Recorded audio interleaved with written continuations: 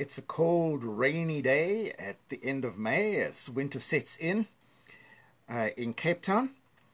We're still locked down because of coronavirus. So, this is yet another lockdown lecture. I've been looking at Jesus in Africa. Uh, the the last 2,000 years of, of Christianity on the continent and the, the ebb and flow of the Christian faith in our continent. And I've been doing this in partnership with Discipling Nations, who uh, are an organization that I, I am engaged with, and we teach grassroots level uh, mission uh, all around this area. Today we're going to look, as I promised yesterday, at uh, the movie The Mission with Robert De Niro and Jeremy Irons. Uh, I'm looking for an equivalent movie about Africa. This one, we, we take a break from Africa and we, we go to South America. We also jump back an era into the 1700s when this movie is set. But the issues, I haven't come across a movie that raises the issues of colonialism and, and mission as well, quite as well, or quite as movingly, um, and as intelligently, quite frankly, as, as this movie. Um, so I hope you have had a chance to see it. Otherwise, this is going to be a monstrous spoiler. it's really worth watching it. And typically in my, my lectures, when I was lecturing, I would, I would spend a lecture day watching this movie with the class. Very sobering, um, but I think a very important um, piece of work. So we're going to think about as we as as we, we go through the movie, as I go through this review, we're going to think about there, are there any surprises? Is there anything you disagree with? Is there anything that you, you find challenging or helpful or stimulating? Is there is there anything that you find horrifying? Um, all these things are, are are signs that that you need to to investigate further, think more deeply, uh, ask more questions, uh, seek God to find the answers for for what is mission. What is mission? What should mission be? And what has it been? I'm going to switch over to to my slides at this point. Uh, I haven't mastered this toggle switch. It doesn't respond to my fingers. There we go. Right, now there's a saying in Africa when elephants fight, the grass is trampled. And the two elephants fighting here were Spain and Portugal, both vying for territory and uh, uh, monopolization of the trade from, from South America. And the grass in this equation were the Guarani Indians. The, the area marked there uh, in that circle is the area where the Guarani, the, the original area where the Guarani tribe uh, hunted and lived their lives. Uh, and they found themselves in a pinch between the northward aspirations of Spain and the southward aspirations of Portugal. And uh, this took place, it's based, the movie is based on events that took place in 1750. And it raises all sorts of issues. Is mission a partner to colonialism? Is mission the spearhead of oppression? Is mission the conscience of invaders? Uh, is it an agent of global uniformity? Is it a champion of human rights? Is it an ideological enslaver? All of these issues are, are raised and, and examined by this powerful piece of work. The movie starts really with, with the narrator, Cardinal Altamirano. He's, he's writing this letter, and the letter forms the, the thread of narration in the movie. And he's been sent from Rome to South America to sort out a missionary mess. Well, it's a sort of political religious problem, really, that he's asked to solve. The plot line is, is based around his reports. He, he writes and he crosses out. It's quite uh, well done uh, about what he decided and, and what resulted from the church's decision. And um, the movie begins with with a in a jungled area where where a group of, of Indians is has tied a a uh, European uh, missionary to a facsimile cross made out of rough logs, and they push him in the water and over the waterfall where he falls to his death. And immediately one's one's confronted with the question why why kill him? Why why did they decide that he needed to be killed? Had he said or done things that were offensive? Was the idea of Jesus in itself a a trigger for uh, hateful resistance? Um, did they read him as a representative of oppressors was he simply too strange? Um, we we don't know. We never get told the the answers to those questions. But it's it's the point of punctuation. It's where where the story unfolds. Now, the head of the Jesuit chapter that's uh, living in the town down on the coast who commissioned the, the missionary who was killed to go. It's called Father Gabriel. And he comes to the conclusion, he says, I sent him, I have to go up there myself. Um, they've obviously had a, have a sense of calling from God, and someone must go, and someone has to go, and and in his I don't know remorse or sorrow at at this the brother who has been killed, um, Father Gabriel decides that he himself, as leader of the chapter, needs to take the lead and and go up the waterfall down which the missionary has been pushed and make contact with this dangerous tribe. And we've got to ask ourselves how our mission links with martyrdom. I'd love to stop and and have a conversation at every point here and how does our mission link with sacrifice? And uh, yeah, I'm going to be doing a session later in this lecture series on Christian death in Africa, and this this idea of of being prepared to die for the sake of getting the gospel to uh, people who've not heard of it before. Very interesting. And so he starts climbing up next to the the uh, the waterfall, and we've got to ask ourselves why. You know, it seems likely that if he doesn't fall down and kill himself in the in the climb up the waterfall, um, he might well get killed by the by the people he's going to. So what's his motivation? Is is he acting here as an agent of colonializing power? Is that a is that a powerful enough motivation to to motivate someone to do what Gabriel, Father Gabriel does? Is he a fanatical ideologue? Um, does he have a sense of love or a sense of calling? What's going on? What's motivating this man and many other men and women like him? because it does seem on one scale that, that missionaries are are potentially really mad, insane. You know, did God want the Guarani to be exposed to the gospel? Did the Guarani want to be exposed to the gospel? Patently not. Did the church want the Guarani to be exposed to the gospel? Well, there's a question. and for the most part, it seems that um, the Jesuits were, in this instance, were were um, not sort of not mainstream church, but we'll come to that later.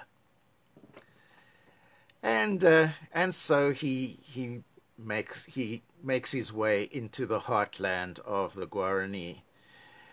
Um, climbs up the waterfall barefoot.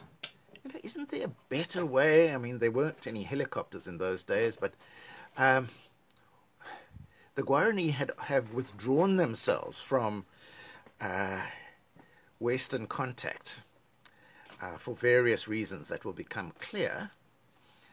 Um, they've barricaded themselves behind the Iguazu Falls. Oh. So, isn't there a better way? And and also, what cultural baggage does Father Gabriel take with him? You know, what's in that bag? We see this mysterious wrapped item that he carries. Is it a gun? It's not a gun. Uh, it's a clarinet. The clothes he's wearing, the cross around his neck. He takes the cross from the that the dead missionary has floated down the river with. He puts it round his neck and, and takes it up as as a symbol of continuing what the the dead brother has started.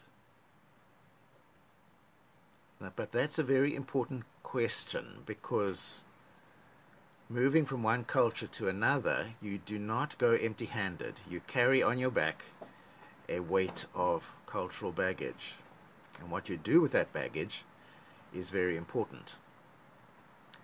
Anyway, he goes up, gets to the top of the the uh, waterfall, and he takes out his clarinet and begins to play. And and as he plays, the Indians emerge from the jungle and circle around him. He just plays. No words are spoken. They, their bows are drawn. They, but they are just uh, so moved by the music. Um, and it's an int- it's interesting to to look at that, at how Father Gabriel handled his first contact, uh, and how the Guarani Indians reacted with a sort of wistfulness. And uh, the chief gets angry and snaps the clarinet in half, and but then the other uh, other uh, tribal members uh, plead with the chief and give the clarinet back to Father Gabriel, but now, of course, it's broken. And anyway, in the end, they, they lead him by the hand and give him permission to live and to live amongst them. So, I mean, we've got to ask in mission, who's more important, the missionary or the people that he or she approaches? Who's got the power? Where does the power lie? Um, who's weak and who is strong in this interaction? There's so much that I'd like to talk. Every aspect of this movie raises uh, crucial I- issues with regard to mission and uh, very transferable to, to other intercultural contact points. But there's another Westerner who comes into contact with the Guarani. It's uh, Rodrigo Mendoza, who's a slave trader. He comes in with his net, catches slaves, shoots people who run away. Um, he's hunting above the falls. And uh, he has a, a, fleeting confrontation with Father Gabriel. And. Um, this is a very different power relation. Well armed, super, with superior weaponry, and, and stealing people to work as slaves on the plantations. Um, the settler culture was both religious and oppressive. And we need to ask ourselves, as Cardinal Altamirano comes to ask, can one take the one and leave the other? Is it possible to have the one without the other?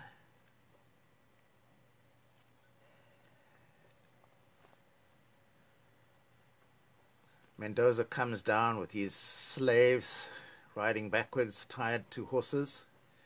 Uh, he sells them to the plantation owner, uh,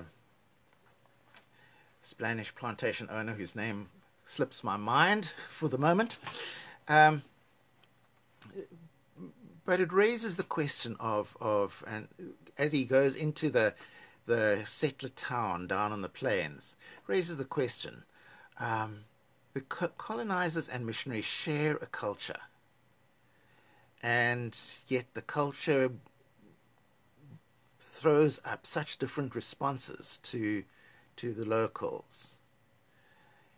Uh, what are the Spanish and Portuguese cultures like that that emerge in this movie? How important is it to know one's own culture? What what are some good and good points and bad points of your culture, my culture?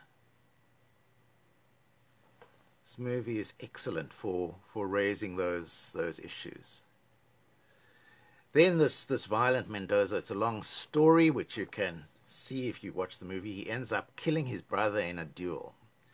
Now, in those times, a, a, a duel was a, a, legally acceptable, and the fact that he killed his brother was, you know, they were both armed, so it wasn't murder, but but that doesn't affect him. He is deeply remorseful. He's completely broken because he loved the brother, but the brother just, well, the brother took his girl basically.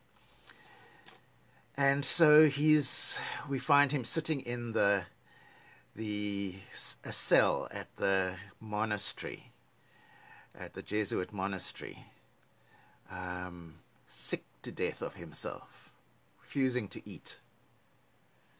And um, I mean, it's hard to believe that a man like Mendoza can change, but it is credible that remorse can deeply affect one's choices in life anyway, uh, Father Gabriel goes to visit him and laughs at him and challenges him and uh, it's a very interesting interchange but I, I can't go through that. I can't go through the whole movie. You must watch the movie. And uh, Mendoza decides that that for penance for what he's done to his brother and what he's done to to the Guarani that he will drag all his armor and weaponry in a net up the mountain, up the waterfall, and throw himself on their mercy, and they can execute him in vengeance for for the death that he's brought to them. He's going up to die.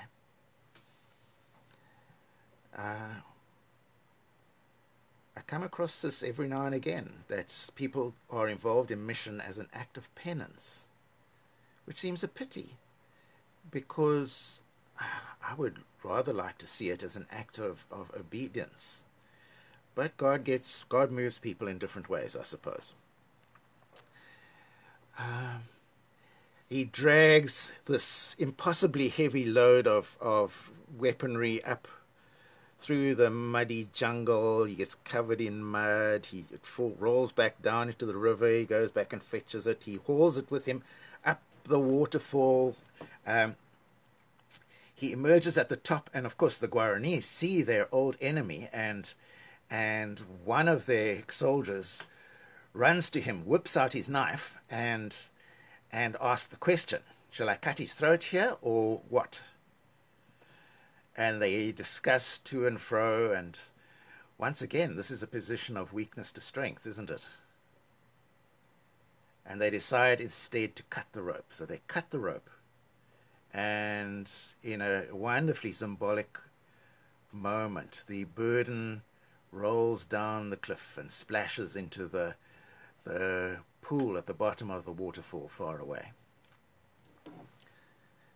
And so, he, and he bursts into tears, and they laugh at his tears, and it's a it's actually a very moving scene. But you've got to ask whether, it was wise for the Guarani to, to forgive this mercenary. And I wonder why they did forgive him. Uh, perhaps it's the influence of Father Gabriel and, and the gospel that's already working in them. And it raises the question how, of how often missionaries need to be forgiven, eh? For all sorts of things. And then we have a period of, of peace and calm as the as the mission station is built. they build this huge cathedral-like structure, sort of closest facsimile of of uh, European architecture. Uh, there's a lot about culture and mission here, and uh, and Mendoza gradually becomes enculturated or, or adapts. One stage they they lead him aside and and paint uh, his chest with Guarani war paint, and um, it's interesting how important was it to to adapt to each other's culture. The building of the buildings that was an accession to to Western uh, culture, and then the war paint that was a, an accession to Guarani culture, and then for proper induction to to the tribe, the man who has just been painted with war paint is supposed to kill a pig. So they catch this wild pig and thrust the spear at Mendoza, but he refuses to kill the pig. He refuses. He's, he's trying to lay aside his, his violent past. And there's a, a lovely interlude of, of him reading 1 Corinthians 13, the, the, um, and acting it out um, Father Gabriel gives sets him the task of studying 1 Corinthians 13 and the dimensions of love. I wonder what passage you would have given someone like that to read. And um, yeah, how does the work of, of missionaries demonstrate love to the Guarani? How does love the how does the work of any missionary demonstrate love, carry love, embody love. And eventually, Mendoza decides that he's going to join up, he's going to become a Jesuit brother. And they have a, a lovely ceremony where he dons the robe, which they call the livery of labor and humility such a nice description of clerical garb. But is mission always done with hard work and humility, with labor and humility? Or sometimes with technology and arrogance? Hmm. The mission is the mission is is a superb movie. Uh, but I'm going to break it there for today. I think that the um, it's a piece of art that gives us a a window into the past through which we are able to gaze and in the light of what we see we're able to reflect on what we are doing in the present Let's pray together. Loving Father, your church has tried to obey your call to mission with such a mixture of passion and blindness, arrogance and kindness. Please help us to see what we are not seeing about ourselves. Amen. If you haven't seen this movie, I'll be carrying on tomorrow with the second half, and and it's a serious spoiler. Um, but uh, it's really worth spreading these ideas. Please take them. Don't just leave them lying. Take them, pass them on. Um, ask the same questions of other people. And and please like my. Uh, uh, my broadcast or uh, show that you're there, make comments. Then I can then I can interact with you and and we can work on these issues together. Uh, and certainly, I need help from others still as I as I work through the concepts of mission. And after after lockdown's over, sometime in the future, when it's safe to gather together again, you could invite discipling nations to run this course or other courses that we have. uh, to help your church work through the issues of, of its involvement in the mission of God. That's it for today, guys. Meantime, stay soapy.